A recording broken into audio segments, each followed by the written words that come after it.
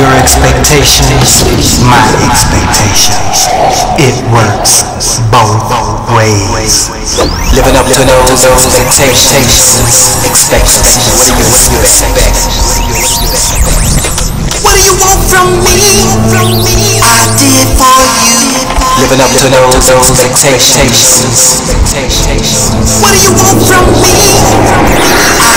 Living for up to you. those expectations.